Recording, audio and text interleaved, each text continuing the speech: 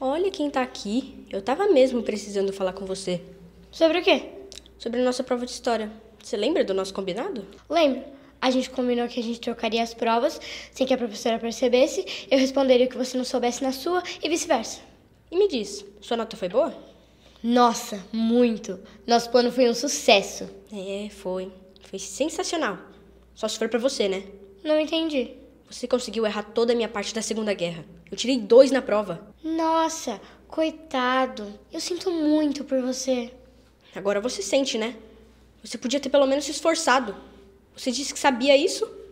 Bom, a gente não assinou nada dizendo que eu tinha a obrigação de acertar. É, mas eu acertei na sua. Você é tão burra que não consegue retribuir uma cola? Relaxa, bobo. O mundo dá voltas. Ano que vem você passa.